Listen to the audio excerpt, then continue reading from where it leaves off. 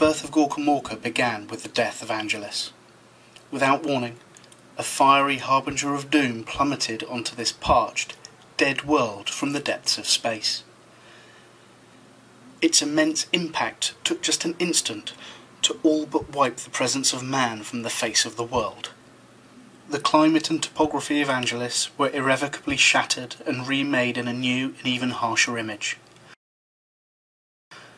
The destruction was not wrought by some rogue comet or wayward asteroid. The object which impacted on the Angelus was a space hulk, a gigantic vessel manned by the most savage and barbaric race in the galaxy.